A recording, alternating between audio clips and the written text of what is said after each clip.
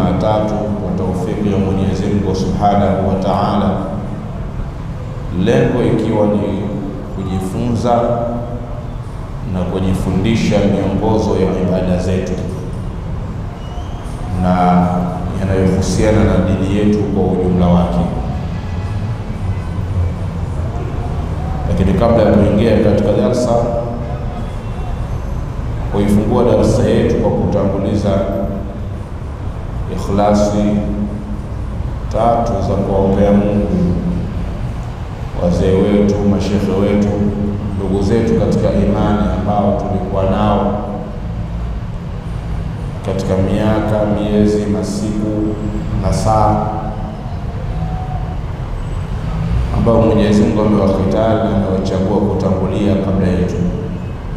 Hatuna cha kuwapa isipokuwa ni kuombea Mungu kwaliko Mwenyezi Mungu awepesishie yale mazito waliyokutana nayo na wanayoendelea kukutana nayo.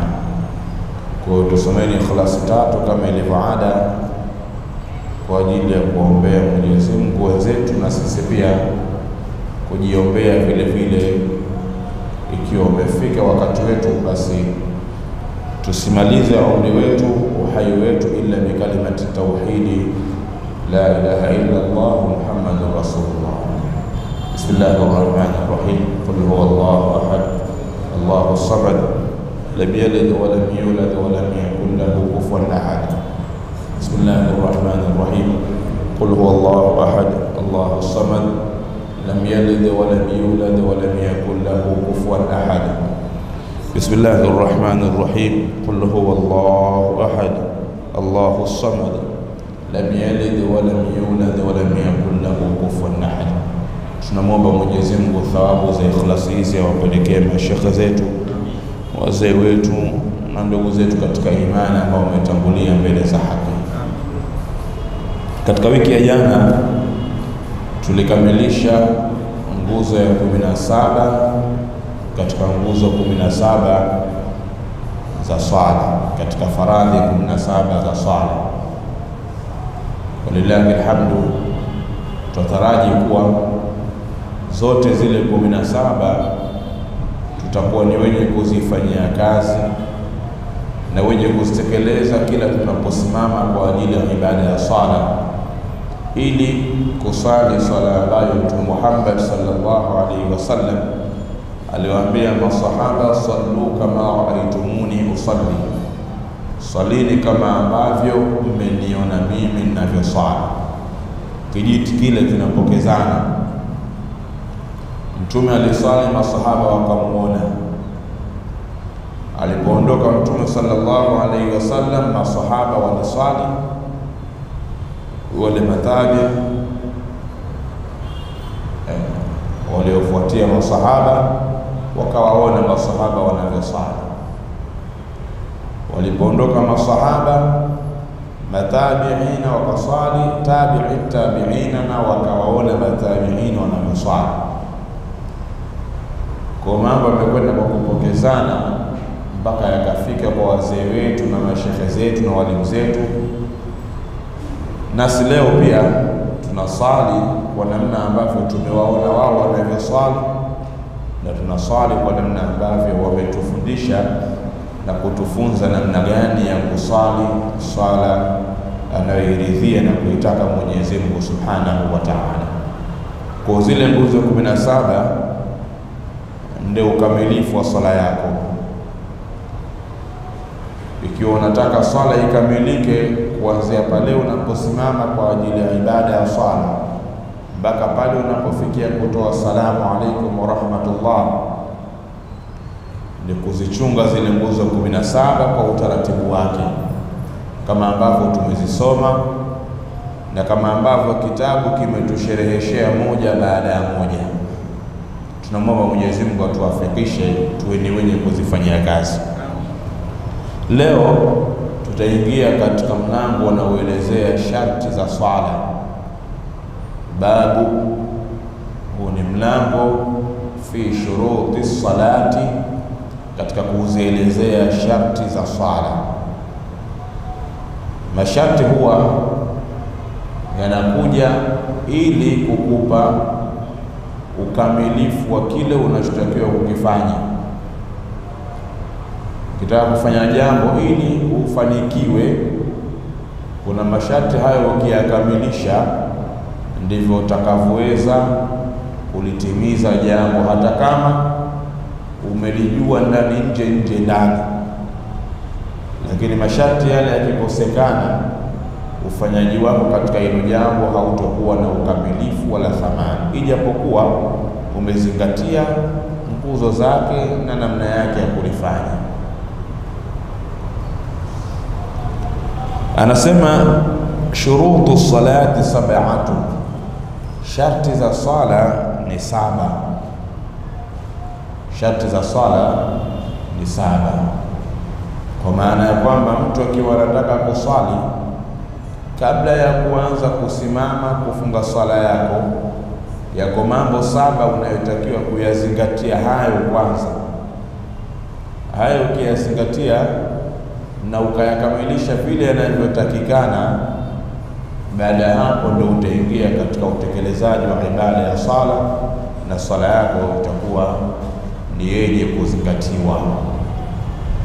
Anasema ahaduha, la kwanza ya hayo masharti saba, maarifatul waqti, ni kujua wakati. Maarifatul waqti, kujua wakati wa hiyo sala unayotaka kuiswali Yani ili usali, kwanza ujue wakati wa hiyo sala, Manake bila kujua wakati wa sala unayotaka kuiswali hauwezi ukatekeleza ibada ya hiyo swala. Tumetoka kusali salatu maghribi. Sasa sharti la kwanza kabla ya kuingia katika kutekeleza ile swala yenyewe, hata kama tunazidiwa nguzo kumi na saba, lakini kitu cha kwanza wanatakiwa ujue huu wakati wenyewe, huu ndio wakati wa magharibi. Ndio hiyo maarifatul waqti, kujua wakati. Ukiujua wakati, ndiyo itakuwa kwako ukiswali sasa, ile swala inazingatiwa na inapokelewa kwa mujibu wa vile utakavyoswali. Maarifatu lwakti, kujua wakati, ay alilmu bidukhulihi au dhannu. Kujua wakati maana yake ni kujua kule kuingia kwake wakati wa hiyo sala unayotaka kuiswali, au dhannuhu, au dhana yake, yani kuudhania ule wakati. Kuna mazingira yawezekana ukakosa namna ya kujua wakati. Ziko namna ambazo sheria zinakutaka uzifuatilie hizo ili kuutafuta wakati wa sala. Kwa maarifatu bidukhuli lwakti, yani kujua kwa kuingia wakati, au alilmu bidukhulihi, kujua kwamba wakati umeingia. Na kama ikiwa umekosa zile nyenzo za kukuthibitishia kwamba wakati kweli umeingia, basi uwe na dhana kwamba nadhani wakati huu utakuwa umeingia, lakini kuna misingi ambayo inayotakiwa ikuongoze kuipata hiyo dhana. Usikurupuke tu kwamba nadhani nadhani, ila hali mazingira yanakuwezesha kuwa na hakika mbali na dhana. Kwa hiyo anasema maarifatul waqti ni kujua kwa wakati, ay alilmu bidukhulihi, yani kujua kwa kuingia kwake wakati, au dhannuhu, au kudhania huo wakati. Faman salla biduni dhalika basi yule atakayekuwa ameswali biduni dhalika, kinyume na hivyo, maanake ameswali bila kujua wakati, kutambua kwamba wakati ndio huwa hii sala inayotaka kuiswali, au pia akakosa hata kudhania. Kwa hiyo misingi ambayo tutaelekezwa au tutaichambua katika mazingira yanayotaka wewe ufikie wakati, basi japo dhana uwe nayo Mswaliji akakosa kujua kuingia kwa wakati, akakosa pia na dhana ya kujua wakati, akaamua kuswali hivyo hivyo, lam tasiha salatuhu, itakuwa haikusihi swala yake. Kwa hiyo sharti la kwanza, ili swala yako iswihi, ujue wakati wa swala unaotaka kuiswali, na kujua kwake ni kujua kwamba sasa wakati umeingia, ndio unatakiwa ni swala Ndio sababu ya kutakiwa kujua wakati. Kwamba sasa hivi ni saa moja kasoro dakika kumi kwa mujibu wa saa zetu.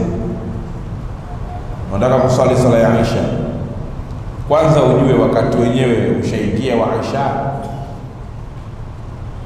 Ukiujua wakati huo umeingia, ukiingia kusali sala itasihi. Lakini kama haukujua wakati huo umeingia na haukufanya hizo jitihada, japo zikakupa dhana kama mazingira yanahitaji hivyo, ukaamua tu uinuke usali, sala yenyewe itakuwa haikusihi. Kwa nini? Kwa sababu imeswaliwa nje ya wakati. Sawa sawa. Kwa hiyo sharti ya kwanza ni maarifatul waqti, kuutambua wakati. Athani, sharti la pili, istiqbalul qibla, kuelekea qibla. Ndo sharti la pili la mwenye kusali. Ukiwa unataka usali swala yako ili ikubalike, baada ya kuwa umefanya jitihada na umefuatilia ukaujua wakati ushaingia, basi jambo la pili unatakiwa kulifanya ni kutafuta kibla, uelekeo wa kibla ni ukwapi. Ukiujua uelekeo wa kibla ndio utakaokuwa umekusaidia kuifanya swala yako iwe yenye kusihi. Lakini kama uelekeo wa kibla haujaujua, ukaamua tukurupuka usali na ukakosa zile jitihada za kutafuta hicho kibla, manake sala yako itakuwa haikusihi, kwa sababu umeswali bila ya kuelekea kibla. Na sharti latakiwa lazima uelekee uelekeo wa kibla. Athalithu, sharti la tatu, satrul awra ni kuustiri utupu, maanake kuweka stara katika utupu wa kisheria. Wa in salla fil khalwa, ijapokuwa ameswali katika kando, yani ameswali kwa kujitenga, ameswali sehemu ambayo iko peke yake, chumbani au msikitini, lakini msikiti umefungwa, yuko peke yake. Hata kama atakuwa ameswali katika mahala pa kujitenga lakini sharti la kujistiri liko pale pale, satrul aura, kustiri utupu. Wa in salla fil khalwa, ijapokuwa ameswali katika kando, ameswali kwa kujitenga. Fa in tarakahu maa alqudrati, lau aliacha hiyo stara. Kujistiri maana yake ni kujifunika mwili. Lau aliacha uko kujistiri, kwa maana ya kufunika mwili wake akaamua kuswali ilhali anaweza kujistiri, yaani kaamua tu kwamba nguo za kuvaa, lakini hebu leo niswali bila ya kukwati, si niko peke yako na kizani mondani. Akiswali kwa namna hiyo, lam tasiha salatuhu, itakuwa haikusihi swala yake. Na pakisema utupu kisharia, yani astiri utupu kwa maana hii huwa tunaambiwa panaposemwa tafsiri ya neno au maelezo ya neno, ukaulizwa kitu kwamba hiki maana yake nini, lile swali linapokuja huwa linakutaka ukielezea kile kitu katika namna zisizopungua mbili, ndio ufasaha. Ukiulizwa hiki ni nini? Kikanuni unatakiwa maelezo yako kuhusiana na kukielezea kile kitu zisipungue maana mbili, au maelezo yasipungue ya aina mbili katika kukielezea kile kitu. Tutaeleza inshallah tutakaporudia, lakini anasema alipozungumzia utupu na unaotakiwa kujistiri ni upi, anasema wa auratu rajuli, na utupu wa mwanamume, hurran kana au abadan mwanamume aliyekuwa muungwana au mtumwa, kwa zama hizo ambazo kulikuwa na watumwa, sawa. Lakini mwanamume yoyote, linapokuja swala la kujistiri wakati wa kuswali, utupu ni nini? ma baina surratihi wa rubatihi, ni sehemu iliyo kati ya kitovu chake na magoti yake. Maanake ni kuanzia kilipo kitovu chake mpaka kushuka kwenye magoti yake, ndio stara inayokusudiwa. Mwanamume kwa hali yoyote, awe ni muungwana au awe ni mtumwa, hurran kana au abedan, mwanamume muungwana au mwanamume mtumwa, stara yake kisheria katika swala ni ipi? ma baina surratihi wa rubatihi, ni sehemu iliyo kati ya kitovu chake na magoti yake, kwa maana ya kwamba kuanzia juu kidogo ya kitovu, kitovu chenyewe kisionekane, wa rukbatihi, mpaka kwenye magoti, na magoti pia yasionekane, yasiwe wazi. tumeelewa na uzuri? Kwa hiyo hata ukifunga msuri, kama msuri wako ni mrefu na unaweza kukustiri kuanzia juu ya kitovu mpaka chini ya magoti, inafaa uswali namna hiyo. Wal amatu, na mwanamke mjakazi, karajuli, hukumu yake katika stara ama utupu anaotakiwa kuusitiri kisheria, wajibu wake ni kama mwanamume tu, naye pia ni kuanzia juu ya kitovu mpaka chini ya magoti. Walhurra, lakini na mwanamke mungwana, kulluha aura, mwanamke wote ni utupu, illa alwajha walkaffaini, isipokuwa ni uso na vitanga viwili vya mikono, viganja viwili vya mikono yake. Dhaharahuma wa batnahuma, nje yake na ndani yake, ila alquaini, mpaka kufikia katika vilimbilimbi viwili. Kui, kilimbilimbi ni hiki hapa unapocheza cheza hichi kiganja chako, haya maungio ndio kinaitwa kilimbilimbi kwa lugha tuliosomeshwa sie. Sijajua kama kuna lugha nyingine inayozungumzia hiki. Wengine wanasema kiwiko, si ndio? Hiki kiwiko ni hiki. Ah, basi hiki ni kilimbilimbi, sawa sawa. Kwa hiyo kuanzia hapa kwenye kilimbilimbi chikuja mbele dhaharahuma wa bathnahuma, nje yake kwa maana ya huku nyuma, wa batnahuma, ndani yake kwa maana ya huku. Kwa mwanamke hizi zote hazina shida, manake hazikiwa wazi hazina taabu sehemu hizi, ila kuanzia hapa kurudi nyuma inatakiwa awe au amejistiri. Sawa. Akaendelea akasema, wa shartu satiri, na sharti ya hicho kinachositiri sharti ya hicho chenye kusitiri, kwa maana shati ya hiyo nguo inayotumika mtu kujistiri nayo. Tumeambiwa e, la, la, la tatu ni kujistiri utupu, na tumeelezewa utupu kwa mwanamume ni kuanzia juu ya kitovu mpaka chini ya magoti, sawa. Mwanamke tumeambiwa ni mwili wote, yani mwanamke wote, tena sheria imesema kulluha aura, mwanamke wote Manake yeye mwanamke kwa ukamilifu wake yote ni utupu, illa alwajha wal kaffaini, isipokuwa ni viganja na na uso, sawa. Ila maeneo yalibakia yote kwake ni uchi, anatakiwa ajistiri.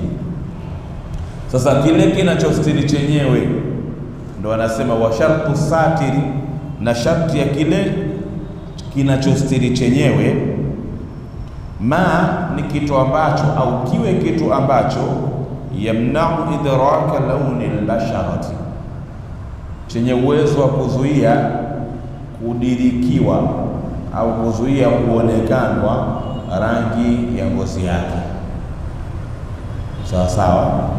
maana yake asije akajistiri na kitambaa chepesi kinachoonyesha rangi ya mwili wake au asije akajistiri na nguo nyepesi inayoonyesha maungo yake ni namna yalivyo, rangi yake na kadhalika. Tuko pamoja hapo? wa shartu satir, na sharti ya hicho chenye kusitiri, ma kiwe ni kitu ambacho yamnau idraka launi albashara, chenye kuzuia, yani kinachozuia kuonekanwa rangi ya ngozi yake wayajibu satru a'la, na ni wajibu kusitiri juu yake. Manake satru al-awra, si ndio? Kusitiri utupu, si ndio? Kwa hiyo yule mwenye kujistiri anapotaka kujistiri, yajibu satru a'la, ni wajibu kujistiri juu yake. Tumeelewa? La wajawanibihi, na pembezoni mwake, ile stara juu iwe imestiri, wajawanibihi, na pembezoni mwake pia, pande zote nne, kulia, kushoto, mbele na nyuma, pia zote ziwe ni zenye kustiri. Malaki mwingine akiambiwa auratu rajuli ma baina surati wa rukba, yeye hudhania ni mbele tu, kwamba lazima astiri kitovu mpaka magoti kwa maana ya mbele. Kwa hiyo kwa nyuma, hata mgongo ukiwa wazi, kiuno kikiwa wazi, hakina shida. Anaelekeza kwamba kile kinachostiri kwanza kisiwe chepesi, kinachorahisisha rangi ya mwili wake mtu kuonekanwa, lakini cha pili kiwe ni chenye kustiri upande wa juu na pembezoni mwake yule mwenye kusali. Waman lam yajid, na yule ambaye la asfalihi, lakini sio chini yake. Tumeelewana? Kwa hiyo msuli unafaa, kama kina mama magaoni, si madera, miguu inafaa, sio lazima iwe suruali. Tumefahamiana, kwa sababu shati ni juu na pembezoni waman na yule ambaye lam yajid hakupata illa ma yakfi sawataini, hakupata kitu cha kujistiri isipokuwa kitu ambacho kinatochoshea kumsitiri tupu zake mbili. Asawataini, ala zake mbili, tupu zake mbili, alichopata kinatosha kumstiri maeneo hayo tu, hakifiki kwenye kitovu na wala hakifiki kwenye magoti. Sawa, kapata kitambaa chembamba ambacho akijizungusha ameweza kujizungusha kwenye stiri katika tupu zake mbili tu peke yake, naye afanyeje? Sawa. Waman, na yule ambaye lam yajid illa ma yakfi sawataini, hakupata kitu cha kujistiri isipokuwa kile ambacho kimemwezesha kustiri tupu zake mbili, satarahuma basi atajistiri hizo hizo tupu zake mbili, maanake atatumia kipande hiko hiko kujistiri tupu zake mbili na atasali. Lakini sharti iwe hakupata, sio kwamba anacho akaamua tukuleta mikogo akiweke pembeni. Sharti iwe hakupata, ametafuta na mazingira aliyokuwa nayo hayakuwezekana kupata zaidi ya hiko alichokipata, basi satarahuma, atajistiri hizo tupu zake mbili. Wa in lam yakfi illa ahadu illa ahaduhuma, na ikiwa hiko alichokipata hakijatoshea kujistiri hata hizo tupu zake mbili pia, illa ahaduhuma, isipokuwa ni tupu yake moja tu. Ikiwa kama atajistiri mbele, nyuma itakuwa wazi, akijistiri nyuma, tupia mbele itakuwa wazi, afanyeje? Satara bihi lqubula, atajistiri kwa hiko alichokipata tupu yake ya mbele. Tumefahamiana? Ikiwa hakupanda cha kujistiri mwili mzima, alichokipata ni cha kustiri tupu zake mbili, anaambiwa atajistiri tupu zake mbili hizo, atasali. Alichokipata akitoshei pia kwa tupu zake mbili, kinatoshea kwa tupu moja, atajistiri kwa tupu yake ya mbele, kisha atasali. tumeelewa vizuri? Nini tunajifunza hapa? Tunajifunza mazingira yoyote yatakavyokuwa yanakutaka uswali, yaani hakuna wepesi wa kuikimbia swala. Tuko pamoja? Hakuna ujanja ujanja wa kuikimbia swala, kwamba kumbe hata ukikosa nguo ya kuvaa pia unaambiwa basi hicho ulichokipata kitumia hicho hicho, lakini lazima ufanyaje? Uswali. Hizo ni sharti tatu. Leo tuzisimamie hizo, tuzirudie kwa maana ya kuzisherehesha. Wiki ijayo tutaendelea na sharti ya nne. Sawa sawa. Sharti za swala ziko saba, na tumesema sharti ni vile vitu ambavyo vinamwajibikia mtu kuvitimiza hivyo kwanza, ili alifanye jambo lenyewe. mwenye kuswali amepatikana, yupo na swala tayari ipo, kwa maana anazijua nguzo zake za swala, anataka aswali, ni sawasawa na mpishi yupo na vya kupikwa vishapatikana tayari, anataka apike. Amekwenda sokoni, amenunua maharagi au amenunua samaki, amenunua nyanya, amenunua viungo vyote, amenunua mkaa, amerudi nyumbani, ameingia jikoni, vyombo vipo, manake moto tayari, mkaa nao na viungo na vile vyakula ama mboga tayari anayo, vya kupikwa vipo na mpishi tayari yupo, anataka apike. Kuna vitu anatakiwa avikamilishe, ndio hayo masharti anaelekeza sasa. Ili upike nyanya zako unatakiwa uzioshe, uzimenye, uzikatekate ama uzibrendi, usiweke pembeni tayari. Ili upike unatakiwa kitunguu chako ukikatekate. Ili upike unatakiwa nazi yako uikune ama uisagi, tupate lile tui la nazi, kisha unaambiwa haya, washa mkaa wako, ndio unaingia. Maana yake kama haujakamilisha hivi vigezo, hauwezi kupika nyanya haujaziandaa, vitunguu haujavikatakata, nazi haujaikuna au kuiblend, unapikaje? Tumefahamiana vyema? Itakuwa ndio yule aloambiwa akapike samaki wa nazi na hakuelekezwa namna ya kupika, yeye kaambiwa mfanyakazi hajui kupika, kaelekezwa na bosi wake, nenda sokoni kanunue vitu vya kupika, utapika samaki wa nazi. Bosi akatoka akamwagiza yeye na dereva waende sokoni. Kaenda sokoni, kanunua nyanya, kanunua vile alivyoandikiwa kwenye karatasi. Alipokuja akaona bora nipike kumwahi bosi, ili akija akute vitu vyote viko tayari. Hajui namna ya kupika, kakusanya nyanya, vitunguu, makaroti, makorokoro yote alionunua na nazi vile vile, haijakunwa wala haijablendiwa, katia kwenye sufuria, kawasha moto, kabandika. Hajui maanake vile vigezo na masharti havijazingatiwa katika upishi wake. Kwa hiyo na sala pia kuna masharti yake, pamoja na kuwa wewe mswaliji ushapatikana na swala ushafundishwa, kwa maana ya nguzo kumi na saba unazijua, basi haya ya masharti saba unayotakiwa nayo sasa uyazingatie, kisha ndio uingie katika ibada ya swala. Sharti la kwanza tukaambiwa ni maarifatul waqti, kujua wakati ay alilmu bidukhulihi au dhann, kujua ule wakati wenyewe vile unavyoingia ama kuudhania. Ukiambiwa kujua wakati wa sala, sio huu wakati tunaojua siku hizi ambao imamu akichelewa tayari maamumu anakohoa kohoa.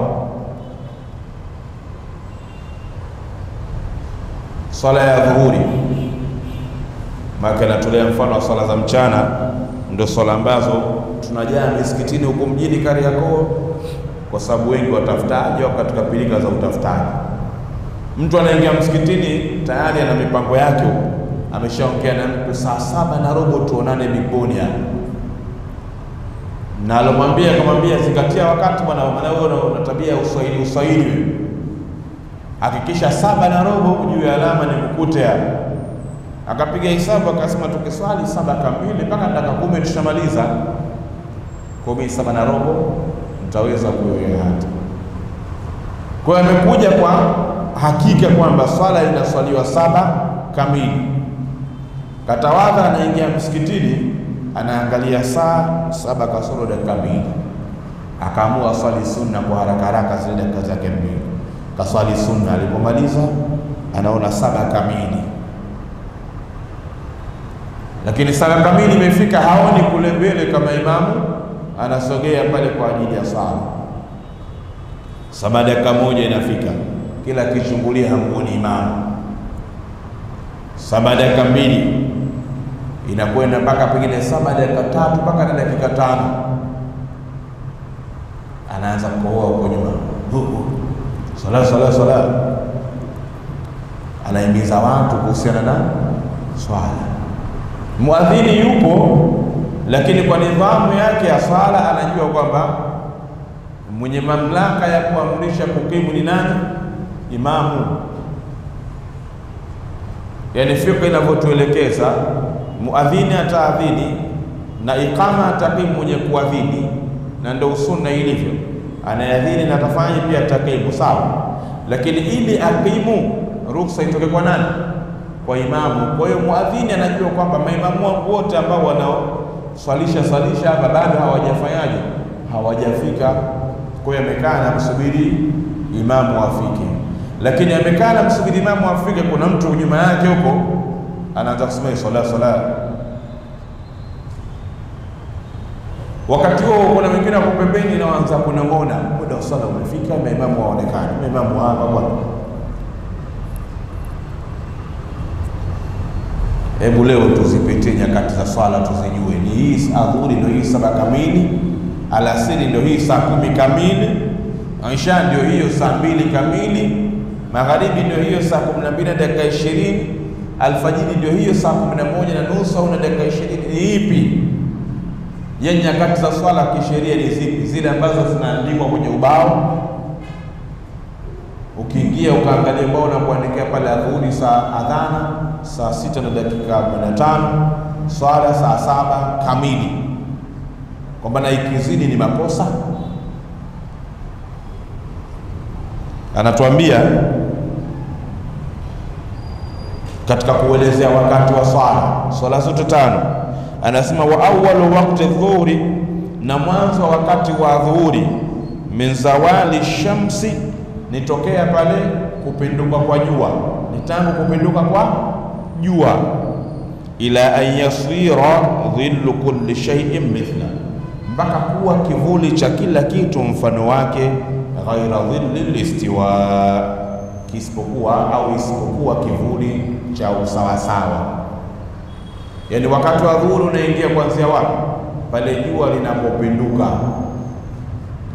Jua lina mashariki na lina magharibi. Mashariki ndiko linakochomoza asubuhi, kama kumi na mbili, kama ni saa moja, inategemea na majira. Jua linatembea lile, washamsu tajri li mustaqarrin laha.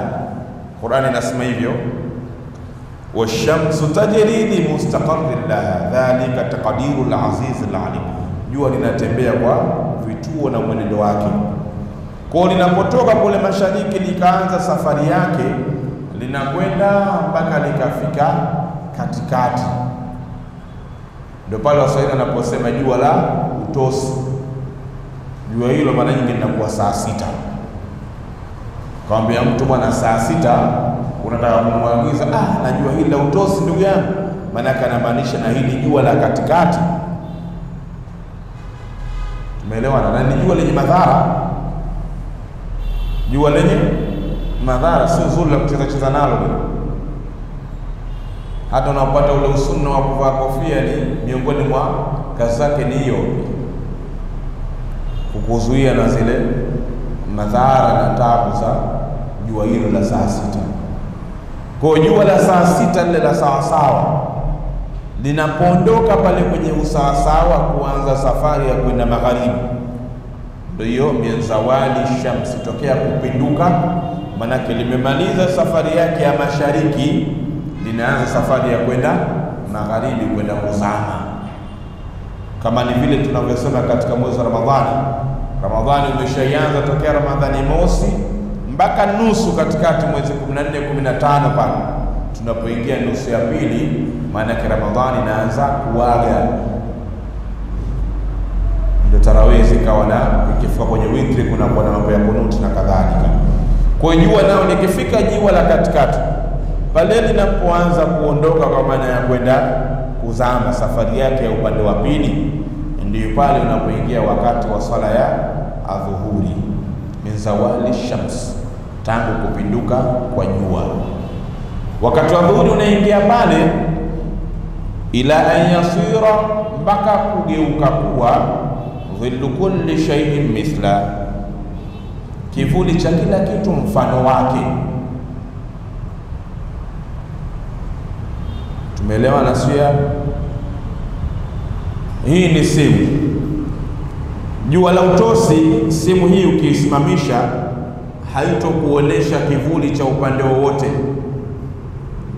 au chukua mfano wako wewe mwenyewe, jua la utosi la saa sita lile ukisimama, hautopata kivuli chako upande wowote, si kulia wala kushoto wala mbele wala nyuma, hutopata kivuli chako, jua liko katikati.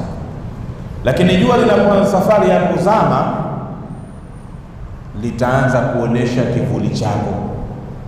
Ndio kuna wakati ukisimama unaona kivuli kidogo kuliko wewe mwenyewe ni mkubwa, baadaye kinaongezeka kile kivuli. Sasa adhuhuri inaingia pale jua linapoanza kupinduka, maanake kivuli chako kinapoanza, adhuhuri inaingia pale, ila an yasira dhillu kulli shay'in mithla, mpaka kiwe kivuli cha kila kitu mfano wake, yani mpaka ifikie sasa urefu wako wewe na urefu wa kivuli mpo sawasawa, ndio mwisho wa wakati wa adhuhuri. Urefu wako wewe ni sentimita ngapi? Utakapopata urefu wako sentimita kadhaa na urefu wa kile kivuli kinachoonyesha ni wewe, nacho pia ikiwe mfano wake vile vile, hapo ndio mwisho wa wakati wa adhuhuri. Sawa, ndo akasema ila an yasira dhillu kulli shay'in mithla ghaira dhilli listiwa, na kizidi kidogo manake isipokuwa kile kivuli cha utandawaa. Kivuli cha utandawaa maanake urefu wako na urefu wa kivuli uko sawa sawa. Kwa hiyo ikiwa urefu uko sawa sawa baina yako na urefu wa kivuli, maanake adhuhuri ndio inakuaga inaondoka. Kikizidi kidogo kile kivuli, maanake adhuhuri ishafanyaje? Ishamalizika wakati wake. Huo ndio urefu wa wakati wa adhuhuri kwa mujibu wa saa zetu ni takriban kuanzia saa saba kasoro inakwenda mpaka saa kumi kasoro, wakati mwingine mpaka saa tisa na nusu. Sasa mtu anaingia msikitini kuswali, ameingia pale saa saba na dakika tano, anaona wakati ushachelewa.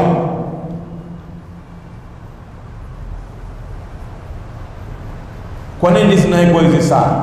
Zinaweka hizi saa ili zitusaidie kuipata jamaa, tena jamaa yenyewe katika, kwa sababu wakati wa swala nao unagawanyika. Katika huo wakati wa dhuhuri unapoanzia mpaka unapomalizia, siku nyingine tutakuja kusherehesha zaidi. Kuna wakati ni bora zaidi kuswali ndani ya hiyo wakati wa dhuhuri, una, una vipande vipande huu.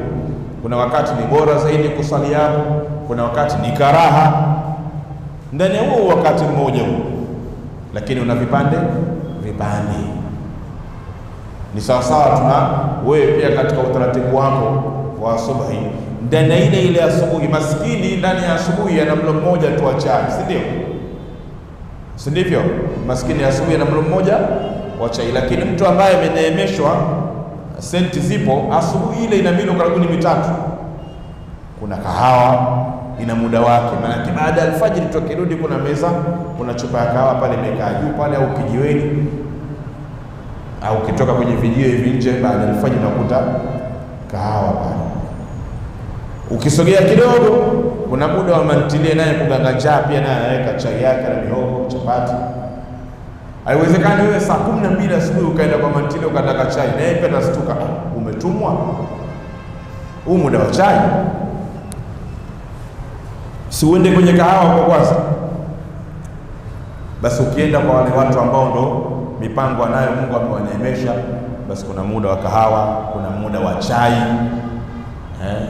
Tena wengine pia kuna muda wa chai nyepesi, yaani baada ya alfajiri kwanza kahawa, pengine anakwenda kwenye mazoezi kidogo, akija kurudi kuna vijisupu vyepesi vyepesi, ama vichai mnaita chai kavu. Ama ukienda katika mahoteli makubwa, unaweza kwenda wewe muda wa chai, unafika chini utakuagiza chai, au ukienda kwenye buffet pale unaambiwa kwanza kuna supu za za, za utangulizi bashafu alafu mwisho wa siku ndio unakuja unachukua chai yenyewe unapiga. Tumefahamiana? Kwa hiyo na huu wakati wenyewe kwanza unavyoingia dhuhuri mpaka unapomalizika kuna vipande vipande. Sasa vile vipande vipande ndio pakatoka wanawachuoni na watu wakatokea hizi nyakati. Saba kamili, saa kumi kamili. Maanake wamechagua zile nyakati ambazo kwa mujibu wa sheria wakati huu ndio wakati bora kipande hiki, lakini haina maana kwamba hautakiwi kuchelewa. Dharura ikitokea unaweza wakachelewa, haina tatizo wala haina shida. Tumefahamiana vyema. Wa waktu lasri, na wakati wa alasiri ni upi? Wa waktu lasri min khuruji wakti dhuhuri ila ghurubi qursi shamsi, nitokea pale unapotoka wakati wa dhuhuri.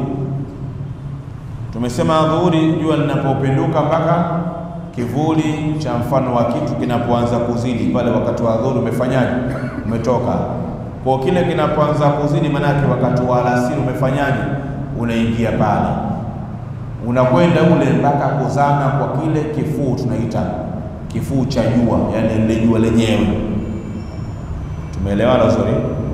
Kifuu cha jua lile umbile la jua linapozama, ikifika saa kumi na mbili ukitazama kule linapozama jua utaona kuna hali ya umanjano na kama kishepu ya jua ndio inataka kuzama kupotea. Sasa magharibi kuingia kwake mpaka ile shepu yenyewe ifanyeje nayo izame, na ile ikizama ndio pale panapokuwa na mawingu mekundu.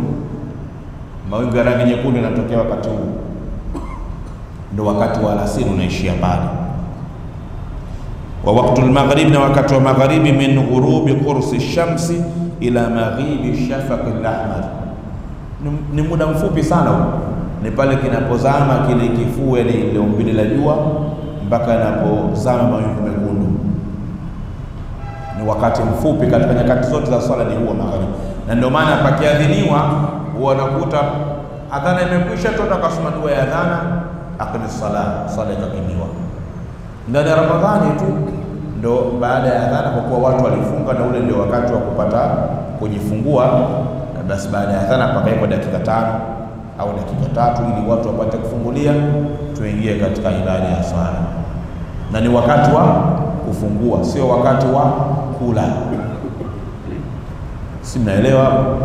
Ni wakati wa kufungua, sio wakati wa kula. Kula ni baada ya swala nacho ni kipengele hicho, ndio usemaga au tunasema uh, wale wanaoalika watu katika iftari wanaojua maana ya kufutarisha huandaa na sehemu za kusalia pale pale majumbani mwao. Yaani usimwalike mtu kuja kuftari kwako ukamwambia tukutane msikitini, unakosa fadhila za kumfungulisha, wewe unapata fadhila za kumlisha.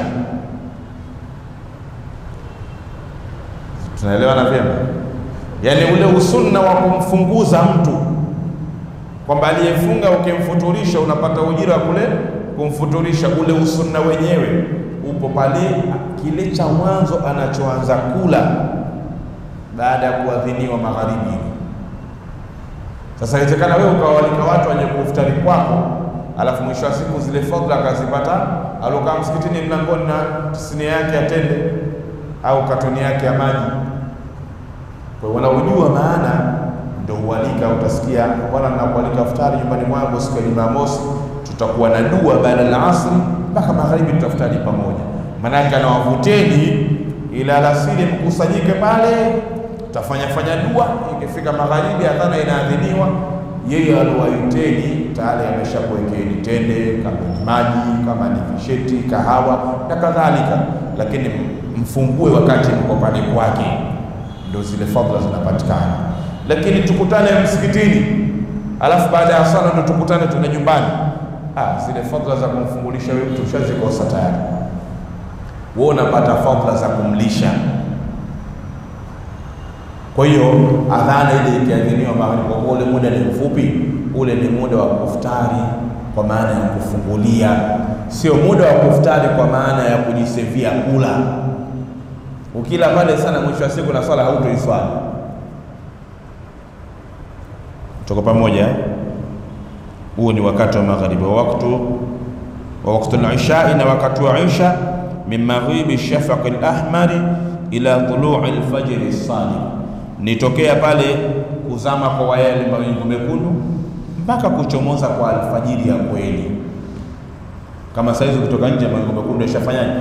Yashazama. Kwa hiyo tayari wakati wa isha ushaingia. Sasa mwingine nadhani kwamba wakati wa isha mpaka pakaadhiniwa saa mbili kamili au saa mbili kasoro ndio wakati wa isha umeingia. Una dharura inayokupelekea kwamba wakati wa Isha ukifika ule tunaoswali jamaa msikitini, mimi sitokuweza kuwepo katika swala wakati ule. Mfano, wengi mu tunakaa nje ya miji, lakini kazi zetu ziko mjini hapa, sawa. Gari ile ambayo wewe ndio unapata lift ya kuondoka nayo saa mbili kamili, ile bwana anaingia barabarani. Nikisema mpaka niswali jamaa, maana yake nitaikosa ile lifti ya gari, na nikikosa ile lift nitapata tabu kufika nyumbani. Moja kati ya mawili, unaweza ukakosa zile fadhila za jamaa, ukaamua kuswali kabla ya wakati ule, ili ibada ya Isha ya wajibu umetekeleza na wepesi wa usafiri umeupata kurudi nyumbani kwako, lakini sio kwamba useme ah, nitaenda kuswali nyumbani. Yaani kama muda unao wa kuswali kabla, bora uswali kabla kabla hujaondoka, kwa sababu wewe hujui wakati wako unaisha wapi, hujui nini kitakuta njiani, hujui yepi atakayotokea njiani. Muda unao swali sasa. Na wakati mwingine utakuta hata katika swala hizi za mchana, adhuhuri, alasiri, unaweza kukutana na mtu anaingia msikitini, pameadhiniwa mtu akasali, wakati najiandaa na kumsubiri imamu pakemiwa ili msali yeye huyo anatoka na vitu vyake anaondoka zake.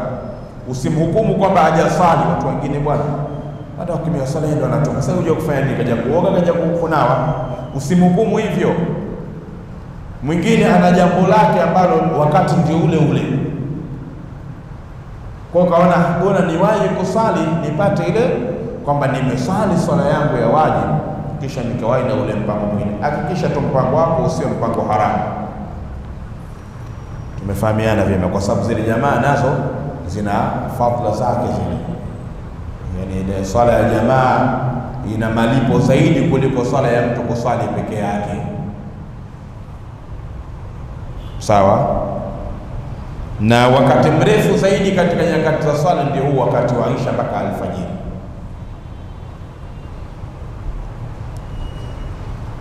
Umeanza hivi mpaka pale inapochomoza alfajiri ya kweli. Kwa hiyo hakikisha haukupiti una usali wa wakati. Akaelezea bwana akasema, akamalizia wakati wa alfajiri au wakati wa subhi, wa wakati subhi min tului fajri sadiqi ila tului shamsi, nitoka pale kuchomoza kwa alfajiri ya kweli mpaka e, linapochomoza jua. Huo ndio wakati wa alfajiri. Hizi ndio nyakati tano za swala.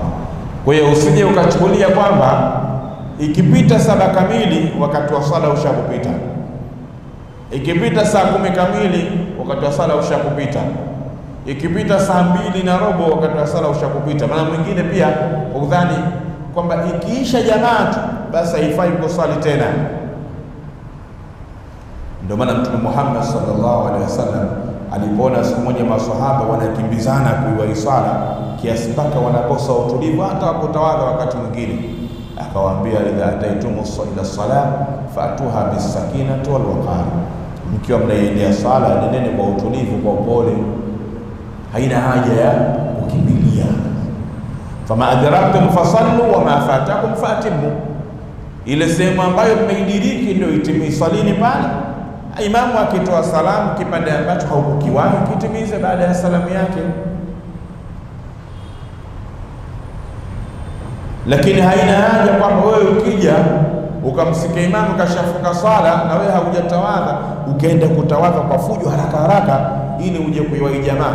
Jamani, popote utakapopata muda wa kuwa imamu hajatoa salamu, jamaa umeipata, muwahi kabla hajatoa salamu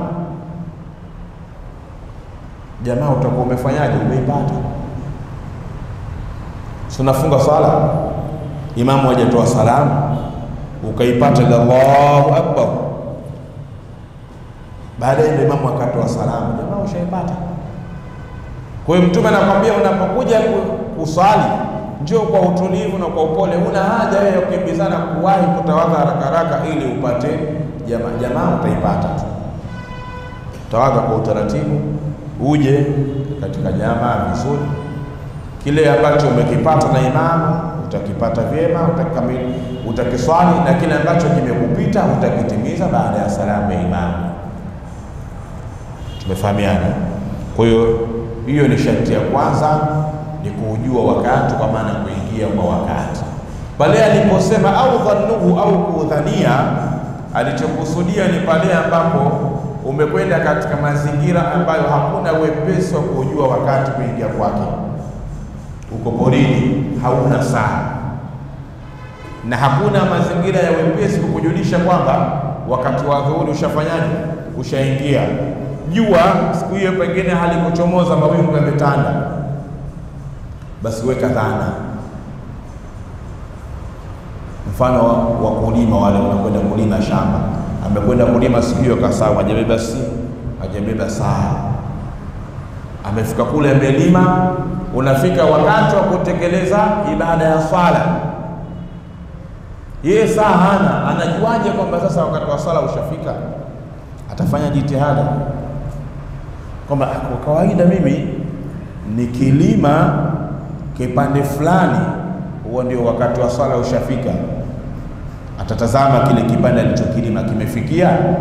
Kama kimefikia kwa utaratibu wake ule ule anaolima siku zote, ajue kwamba hapa sasa ninadhania wakati wa swala ushafanyaje, ushaingia. Atafanya maandalizi yake, ataswali lakini sio ambao tuko mjini, saa unayo eh, wepesi wa kujua wakati unao.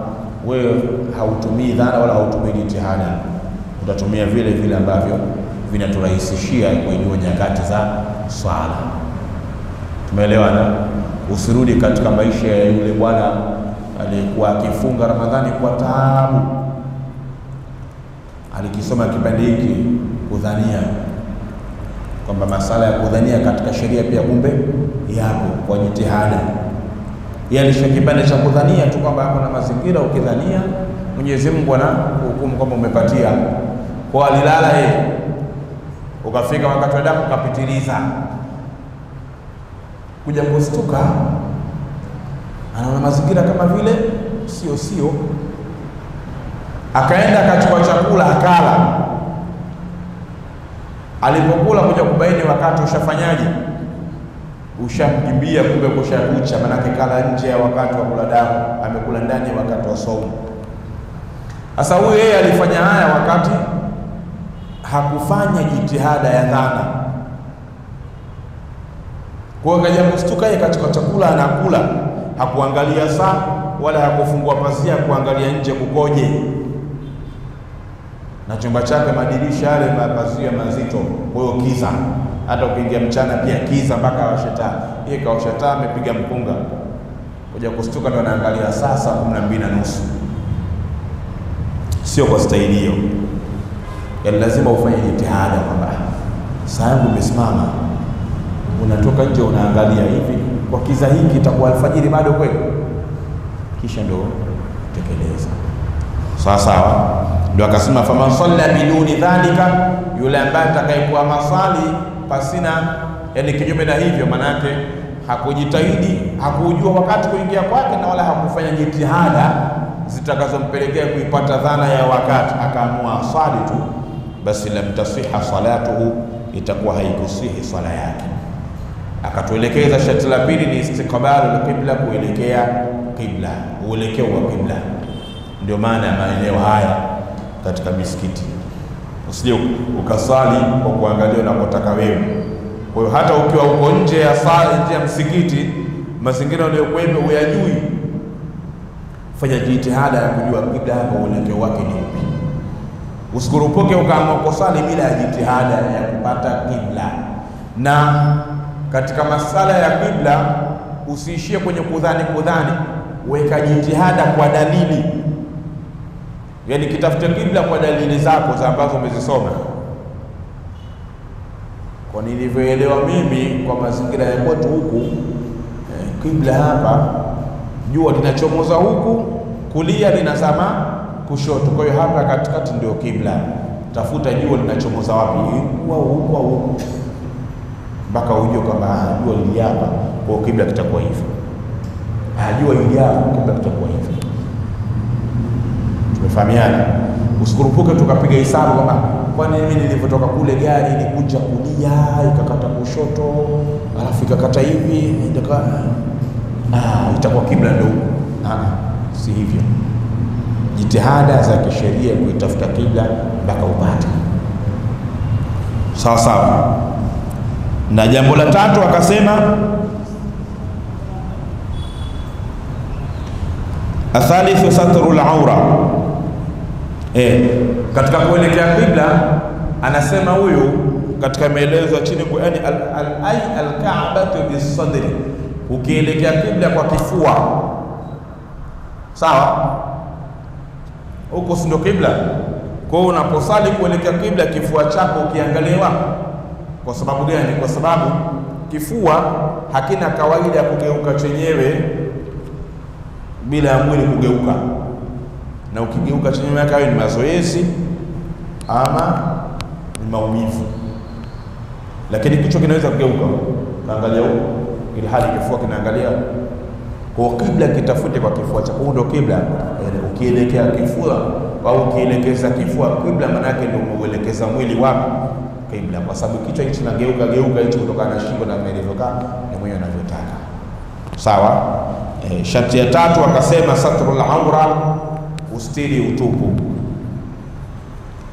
wa in salla fil khalwa, hata kama amesali katika sehemu ya kujitenga. Hapa nilisema neno kwamba kawaida unapoulizwa nini maana ya kitu, huwa tafsiri yako au maelezo yako juu ya kile kitu yasipungue mawili, yani maelezo kuhusiana na kitu yasipungue mawili. Sawa. Mfano, ukaulizwa nini maana ya chai? Chai Sawa, nini maana ya chai? Chai ni kitu gani? Kabla ya kujibu, kwanza unatakiwa ujijua uko maeneo gani, yaani uko katika mazingira yetu. Kwa hiyo utaijibu au utaielezea chai kwa mujibu wa lugha ya Kiswahili. Kiswahili chai maana yake nini, utaielezea, alafu utalazimika kuelezea chai kwa mujibu wa mazingira yale. Chai maana yake nini? Mfano, uko darasani kwa wanafunzi, ukauliza wanafunzi nini, unaijua chai wewe? Kwa mazoea ya wanafunzi, chai na maana mbili. Chai kwa maana ya mchanganyiko wa maji na viungo pamoja na sukari, sawa, ndio chai hii ya kunywa. Lakini mwanafunzi pia, chai ina maana ya adhabu ndogo ndogo, vile ni bakora, sawa sawa. Maanake mtu akaambiwa wewe umechelewa, hebu nenda pale kwanza ukapate chai, au njoo upate chai. Maanake sio akapate mchanganyiko wa maji na viungo na sukari yani na mwenyewe anaelewa kwamba ah, kuna chai kwa maana kuna bakora pale. Kwa hiyo ukiulizwa nini maana ya kitu fulani, uwe na tafsiri zisizopungua mbili. Sasa ukiulizwa nini maana ya utupu, sawa, nini maana ya utupu au nini maana ya kujistiri kuna definition ya stara kwa maana katika ibada na kuna definition ya stara kwa maana ya wewe kama wewe stara yako ni. Definition ya stara katika ibada hapa nakusudia hiya auratu rajuli ma baina surati wa rukba, eh, kama alivyoelezea hapa kwamba wa auratu rajuli hurran kana au abidan ma baina suratihi wa rukbati, ni sehemu iliyo kati ya kitovu na magoti Manake huyu amekosa namna ya kujisitiri, yani amekosa kile cha kumsitiri mwili mzima, basi angalau ahakikishe maeneo haya yamepata stara. Sasa wengine hulichukua neno hili wakaonyesha mbwembwe katika ibada. Mtu anayo nguo ya kujistiri mwili mzima, kwa maana idha kanzu au shati na suruali yake, na wala haviko mbali, lakini ukafika muda wa sala, ametoka ofisini kwake hapo, shati amelitungiwa kwenye henga, anakuja na singleli yake na pesi lake, anakuja kuswali. Sawa, umepata stara, lakini stara hii endapo hauna ile stara kamili ya heshima. Itafute kwanza ile stara ya heshima kama mwanadamu. Aje mtu kuomba kazi ofisini kwako, wewe ndio bosi au wewe ndio HR unayeajiri na kutetea haki za wafanyakazi. Amekuja mtu mmoja kuomba kazi, amevaa kaoshi, sawa, na penzi limevuka magoti mpaka chini, lakini wakati huo amekuja mtu mwingine amevaa suti kamili, nani utakayempa kazi? Alivaa suti. Kwani huyo aliovaa singlet na penzi hana stara? Anayo, lakini sio stara ya heshima.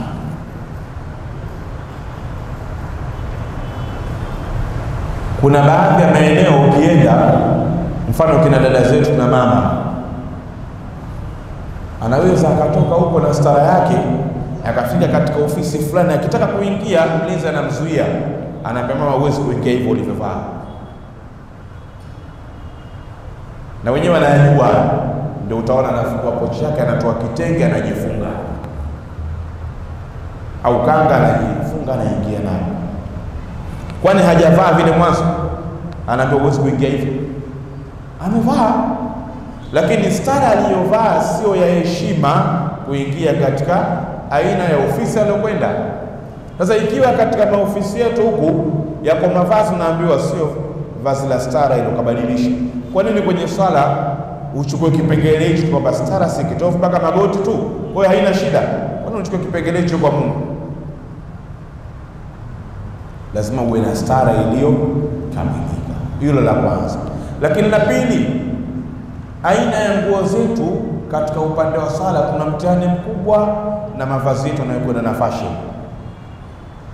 Kwa kina mama au kwa wanawake, anaweza akavaa nguo ndefu mpaka inafika kwenye miguu, sawa na wenzetu wao wana mishono na manguo, wakiyavaa hayo sio tu kwenye vifundo vya miguu mpaka kwenye unyayo.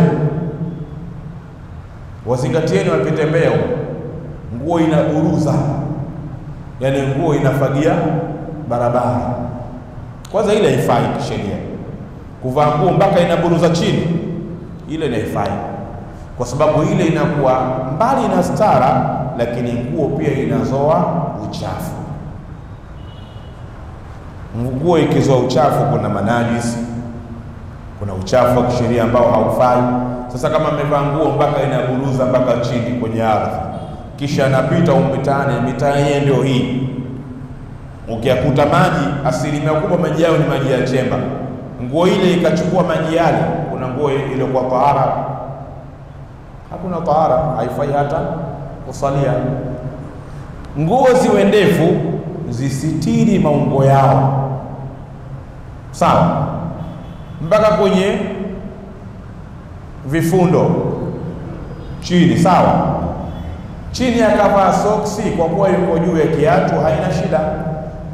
Nguo ile ikawa ndefu ikastiri mpaka mguu wake, lakini akavaa viatu virefu kiasi kwamba ile nguo haitoburuza mpaka kwenye ardhi, haina shida, sawa.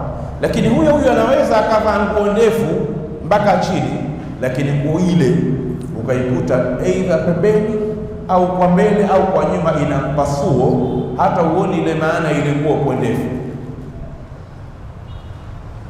ina mpasuo mrefu, inakuja mpaka gotini au mpaka kwenye mapaja wakati mwingine. Na ajabu, wenyewe wakienda kwa mafundi wanaelekeza na wanashonewa hivyo. Lakini huyo huyo au pengine kaenda dukani kanunua nguo hiyo, lakini huyo huyo alinunua nguo kwa matakwa yake na akaishona kwa namna alivyopenda yeye, huyo huyo atakapokuja katika halaiki ya watu atakaa chini kwa kupata tabu, anakaa chini, miguu kaibana, leso ameifunika mbele kuficha, maanake nguo yenyewe na umweka uchi. Kina maana wewe ulivaa nguo kwa ajili ya kukusaidia kutembea, sio kukaa. Ndio maana alipozungumzia masala ya stara akaelezea shatu satiri, sharti ya kile kinachostiri kiwe ni chenye kustiri mbele, nyuma, kulia na kushoto, manake juu na pembe zake zote. Huo ni upande wa wanawake. Sikwambii hizo nguo za kukamata mwili. Mwanamke anavaa nguo inamkamata mwili mpaka unajua ule mwili wake, kama hapa umetuna, hapa ana, kipele hapa, alipigwa ngumi, pengine pameumuka. yaani kila kitu kinajieleza katika mwili wako, namna alivyovaa ile nguo ilivyomkamata mwili. Ile sio stara, kama alivyoelezea sharti ya kujistiri, sharti ya kile kinachostiri mwili kiwe ni kitu ambacho kinaficha au hakionyeshi rangi ya mwili. Unakutana mwanamke amevaa nguo inamsitiri, lakini inaonyesha rangi ya kila alichovaa ndani yake, sio stara hiyo, na haifai, manake sio kitu kilichomsitiri hiko. Tumefahamiana vyema? Sasa tukija kwa sisi wanaume, tuna mtihani mkubwa wa mavazi yetu ya kisasa haya. Hapa tuzungumze na tunaovaa majins na ma t-shirt. Mnaita form 6 asikuguse mali yako ndefu. Tunavaa siku hizi majinsi modo hizi na tuna form 6 yenye wanazita wengine wengine majezi hizi. Haina shida kuvaa fulana na suruali haina shida wala haina tatizo ila unachotakiwa kuzingatia, vaa nguo ambazo zitasitiri hayo maeneo uliyoambiwa, ma baina surra wa rukba, sehemu iliyo kati ya kitovu na magoti, yani juu ya kitovu mpaka chini ya magoti. Maeneo haya yote mbele, upembezoni na nyuma pia yao yamestirika, hayaonekani. Sasa unakuta mwingine anavaa nguo amevaa t-shirt yake juu na jinsi yake, ukifika katika sala akirukuu kiuno kiko nje, huyu hajajistiri kisheria. Sijui naeleweka hapo? Amevaa fulana na suruali yake, alipofika kwenye kusali, anasali. Allahu akbar, imemsitiri vizuri, lakini aliporukuu Allahu akbar,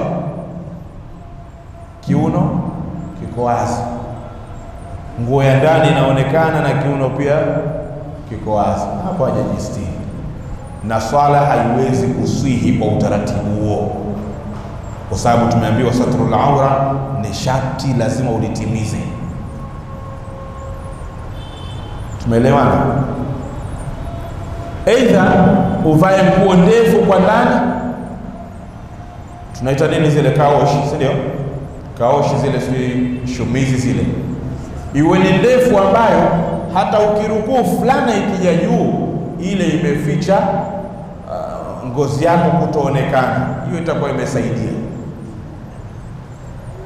Lakini mwingine anavaa nguo, kavaa ndani, kavaa hiyo shumizi yake na juu kavaa hiyo fulana yake, bado akirukuu zote zinapanda juu, kiuno kiko wazi, hajapata stara.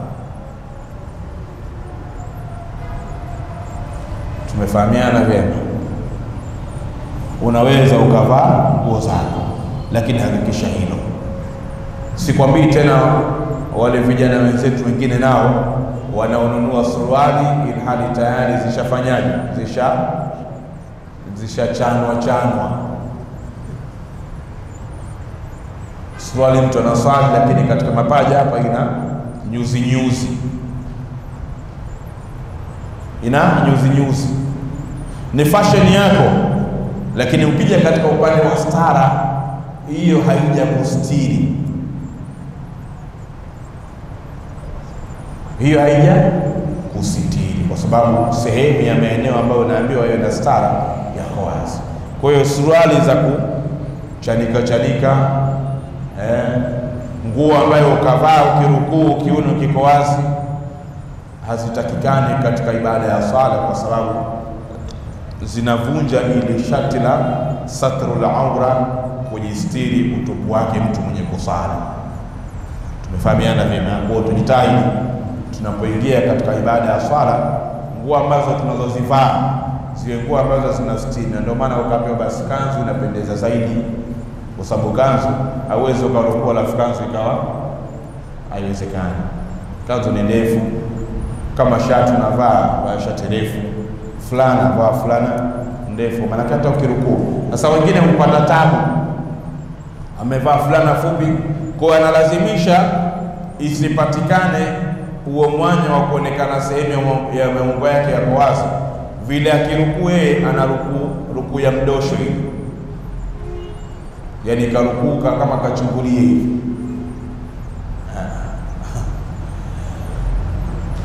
unaporukuu. Tumesoma katika zile nguzo kumi na saba kule tuliposoma nguzo ya kurukuu, alisema hakikisha uti wako wa mgongo umefanyaje?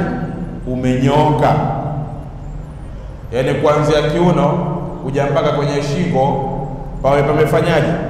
Pamenyoka, na kichwa chenyewe pia kimekaa. Maanake vikinyooka vyote hivi, ndo macho yako yatapata kuangalia pale pa kusujudia, na huko utakuwa umenyoosha mgongo wako. Lakini mwingine akirukuu, wewe ukija hafa yuruka rukuu au anaumwa mgongo sasa mwingine anapana na rukuu vile kwa sababu nguo yake haiwezi kuficha kiuno chake, kwa ndio bora rukuu vile kidogo, akija kurudi. ah, vipi ukienda kusujudu nako unafanyaje? Mwenye kurukuu sawa, umefanikiwa. Mwenye kusujudu nani? Maanake sehemu mbili ndio mtihani, kwenye kurukuu na kwenye kusujudu, lazima nguo ipande juu. Kwa hiyo kuvaa nguo ambazo zitatupa stara katika maeneo hayo ili tuweze kutekeleza swala vile inavyotakikana. Mbele akasema hapa eh, wa yusalla fil khalwa, hata kama ameswali katika sehemu ya kujitenga.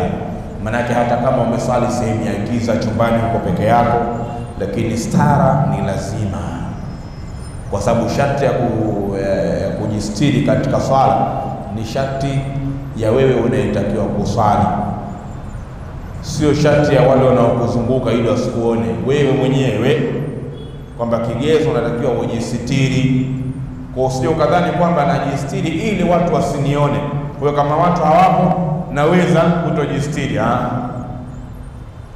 Ile ni sharti ya mwenye kuswali kuwa na staa Tumefahamia, na katika swala kuna malaika wanahudhuria, kwa malaika waja kukuta ukiwa na stara tumefahamiana vyema. Kwa hiyo leo inshallah tutaishia hapo katika sharti yetu ya tatu hiyo, kwamba mtu akiwa amekosa kitu cha kujistiri mwili mzima, basi walau sehemu hiyo ya juu ya kitovu mpaka chini ya magoti, pande zake zote za mwili wake. Akikosa hicho, kafanya jitihada, mwisho siku kapata ambacho anaweza kujistiri utupu wake wa mbele na utupu wa nyuma, atajistiri hivyo. Akikosa akapata cha kustiri utupu mmoja tu atajistiri utupu wa mbele, atasali kama kawaida. Sasa. Nimalizie ziada, mfano wamekusanyika sasa mtu zaidi ya mmoja, wako watatu, wanne, watano, na wote katika jitihada zao za kupata stara wamekosa, hawana kitu cha kujistiri, wanaswali vipi?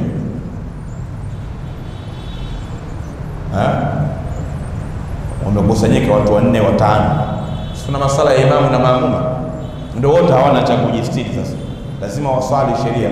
Wataswali vipi?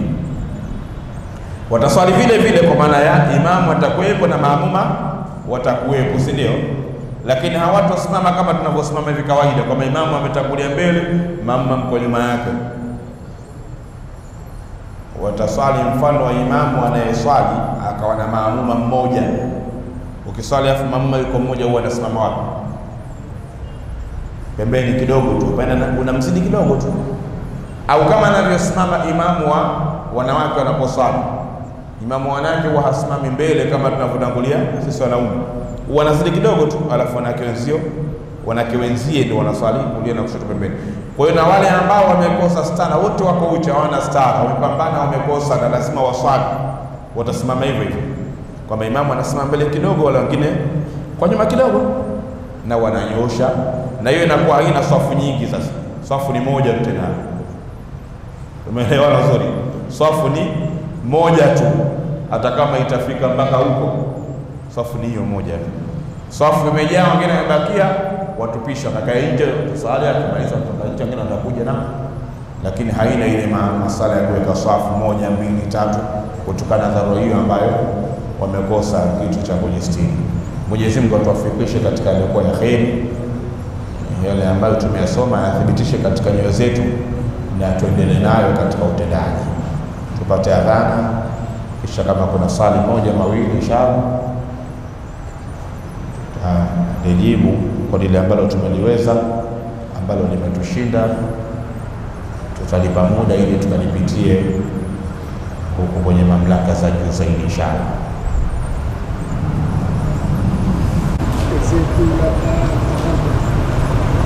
Kuna ile kwamba msikitini huko kwamba kwa maswali mtu anasema kwamba watu wasisuke na mimi swali, yani nazungumza kwa nyakati nazungumza kwamba moja kati ya masharti swali ule wakati ndio ambao unashafika ni swali.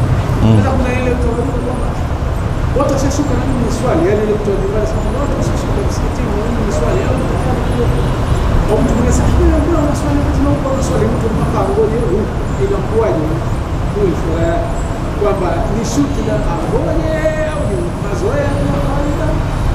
Sawa. ya kisheria. Alafu la pili wale watu ambao wamekusanya Filistini eh, wale katika uswali wao kuna matendo yanapungua katika swala au wana swali full moja kwa moja, maana ni labda ndugu moja kwa moja, kuna matendo yanapungua katika kutokana kwamba hamna cha kustiri au na cha kustiri tu moja tu, yaani kuna matendo ambayo yanapungua ndani ya swala au kuna swali nyingine Sawa, muulizaji na Alaikum na nyakati umezoea kuna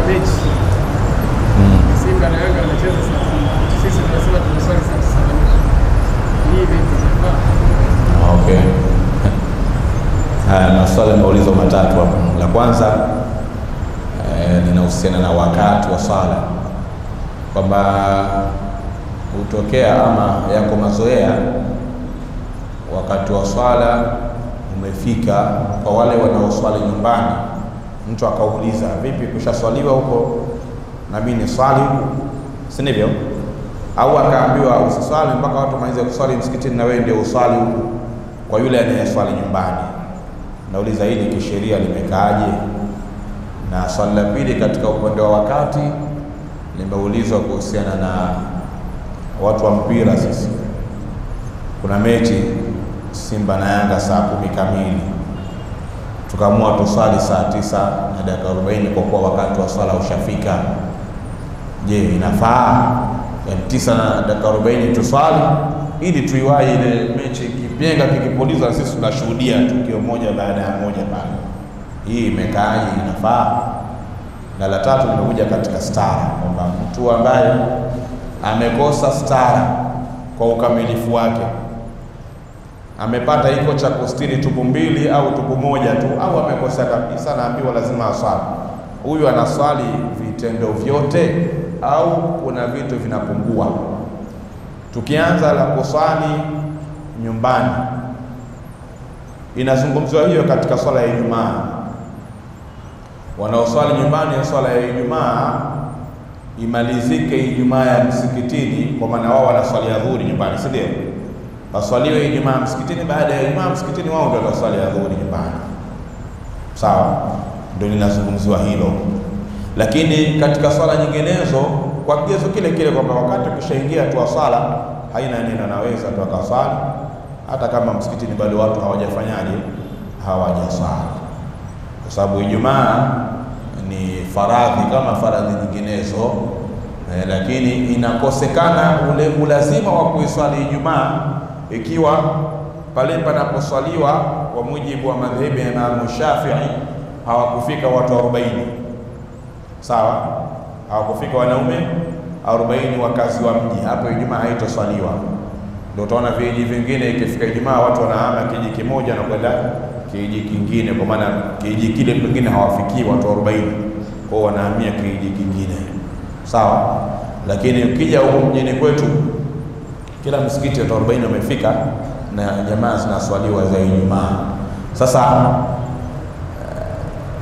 wewe ambaye haukuswali Ijumaa umeikosa Ijumaa kwa udhuru maalum uliokuruhusu kisheria ukaikosa Ijumaa, lakini Ijumaa ni swala ambayo ina fadhila zaidi na fadhila za kipekee yake. Kwa ipite ile ya msikitini, wakimaliza ali na yeye kuswali. adhuhuri yako, sio Ijumaa, adhuhuri yao, kwa sababu ipo kauli tunaambiwa eh, swala ya Ijumaa si rakaa mbili, rakaa mbili zake zingine zilizobakia ni zile hutuba mbili.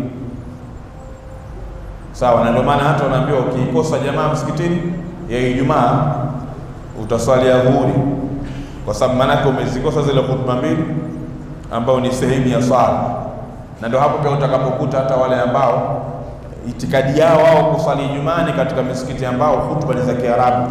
Msikiti ukiwa hutuba za Kiswahili, kuna wengine hawaswali misikiti hiyo kwa sababu ana rakaa mbili zile ni zile hutuba mbili. Sasa inakuwaje wewe rakaa mbili unaswali kwa Kiswahili? Tumefahamiana uzuri, yote ni katika mafuhumu hayo na yanatumika, hayana shida. Hata mijini huko kuna misikiti wanahutubu Kiarabu tupu, kuna misikiti wanahutubu Kiarabu na Kiswahili, yote inakwenda kwa sababu hutuba nguzo za kidarasa pana nayo hiyo, sio wakati wake ile. Kwa nadhani tutakuwa nimejibu swali lako. Swala nyinginezo unaweza ukaswali, lakini Ijumaa imalizikia msikitini na wewe ndio uswali kama udhuru na kuruhusu kuto kuswali Ijumaa na kuswali kabla ya wakati ule uliozoeleka kwa sababu ya mpira. Nilisema wakati unapita hapa, unaweza ukaswali isha kabla ya jamaa ya isha kwa sababu unawahi, mfano una lifti au usafiri au na kadhalika. Nikasema lakini hakikisha sababu yako iwe sababu ya halali.